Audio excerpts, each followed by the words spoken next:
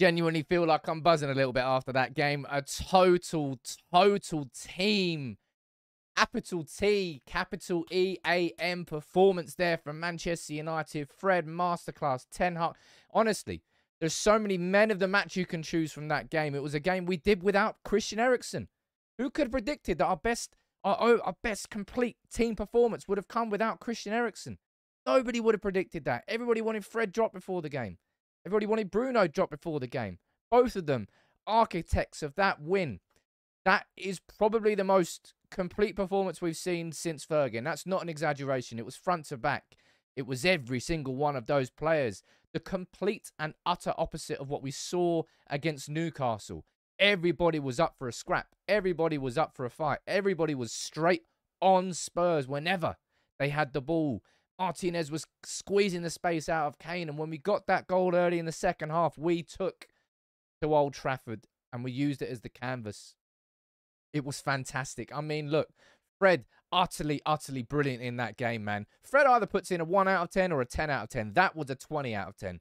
That was just relentless from Fred. And just everybody in that whole team was relentless. Fred deserved that bit of luck. Manchester United deserved that bit of luck. Yes, it was the deflected, a deflected effort, but hell, how many shots we have in that game?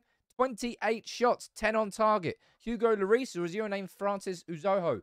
Another goalkeeper having an absolute stunner at, Old Trafford. Hmm, who could have predicted it? But Fred, well done, right? Can we have more of that, please? Can we just have a little bit more of that and a little bit less of the Fred against Newcastle? But a player that was fiercely criticised and who I have been defending was Bruno Fernandes. Tonight, ladies and gentlemen, he came up with the goal, and it was a glorious goal. Curled it in. Absolutely stunning finish. Muy bueno. Muy bueno. Fantastic from Bruno Fernandes. Honestly, I'm really am buzzing after that performance. Old Trafford was rocking. Anybody who was there, you were lucky to have been there because that really was the complete Ten Hag performance. We I don't think I've seen us press that high. We pressed as a team. Even when it went past Fred and Casemiro, Varane and Martinez were there, quite high up the pitch, squeezing the space out, being aggressive. Sure, Dalot, honestly, everybody, Casemiro, my defensive midfielder. Honestly, it's amazing that they were genuinely, genuinely, sorry, some United fans trying to write this dude off after two games. Ridiculous how quickly people want to be gratified in the modern world. And that sums it up. But Casemiro went off to a standing ovation at Old Trafford. And it's not an exaggeration to say that that was the best team performance. Honestly, you can talk about De Gea, you can talk about Dalot, sure, Varane, Martinez, Casemiro, Fred, Rashford, uh, Sancho. Well, we'll speak about Sancho in a little bit. Fantastic.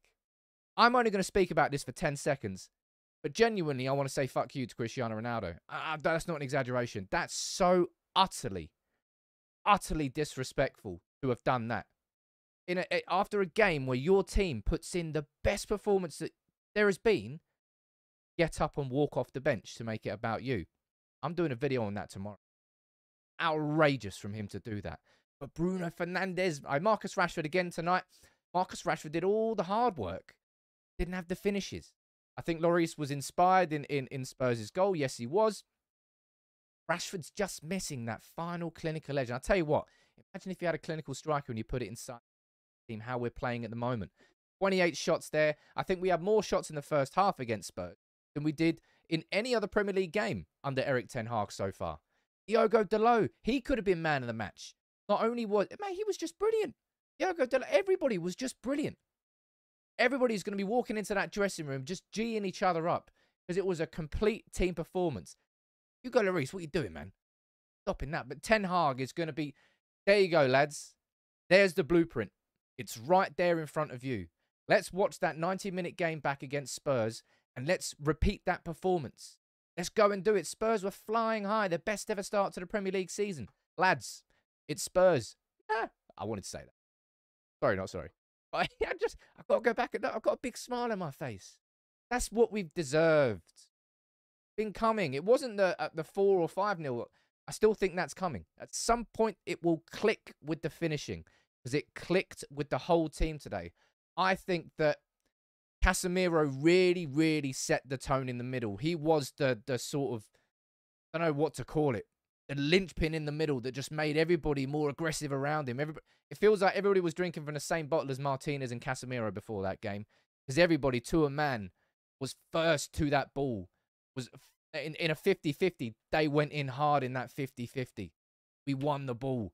Oh, we could have had more goals. Yes, we could have had more goals. And Lloris, as I said, had an absolute stormer of a game. Certainly in that first half. What I would say, if, if we're talking about all the players that played really, really well, I think Marcus Rashford's finishing we can we can call into question a little bit. But I think his overall movement in that game was fantastic. And going back to what I was saying here about Ronaldo, that performance, that team performance, does not happen if Ronaldo is in it. And I, have said it. I, I, I think it was earlier in my live stream today when I said, you know what, I can't be asked anymore. I can see it with my own eyes. The evidence is in front of you. Anybody who wants to deny it anymore, you're just not judging it by what you are seeing in front of your eyes. Manchester United are a better team without Cristiano Ronaldo in it. The fact that he walked off there goes to show that he doesn't consider himself part of that team. Somehow, towards the end, it got made about him.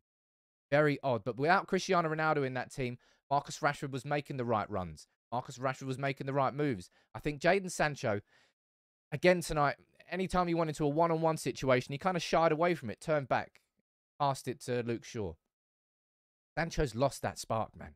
Lost that of confidence to take someone on. Antony was the bigger threat on the right hand side for sure.